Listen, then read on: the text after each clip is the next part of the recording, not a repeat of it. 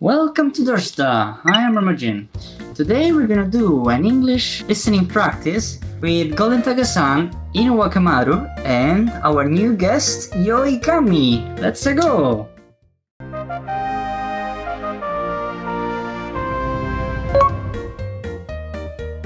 I am a famous German doctor. I do not treat people's bodies. I treat people's minds. I'm the most famous doctor who treats people's minds. When I treat people's minds by asking questions. I ask questions about your childhood.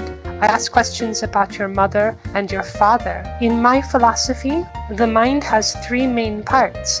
It has the I, the over I, and the it. Who am I? よいかみさんから答えていただいて、じゃあ、アヤンさん、ナイチンゲール。え、ドイツ人の医者？あ、アインシュタイン。大鳥は犬若丸さん。はい。私もナイチンゲールだと思いました。何何何何なになになになになに木の栗さん、答えをどうぞ。Sigmund Freud. えー、Yeah. 多分、日本語で質問されても、わかんない問題でした。しね。以上です。はい。えひどい。ひどい。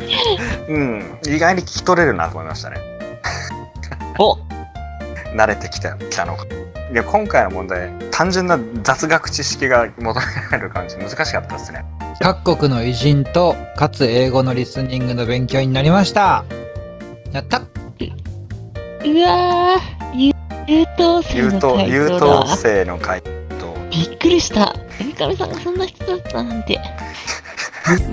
Thank you for watching. I hope you enjoyed this video. If you like it, please give us comment and subscribe our channel. See you in next video.